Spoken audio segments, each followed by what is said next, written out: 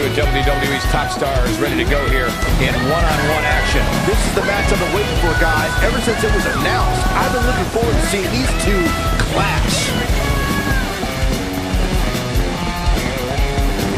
And I'd say these women definitely look ready to get this one started. So am I, Michael. I don't think I've ever seen these women give a poor performance. And I'm willing to bet tonight will be no different.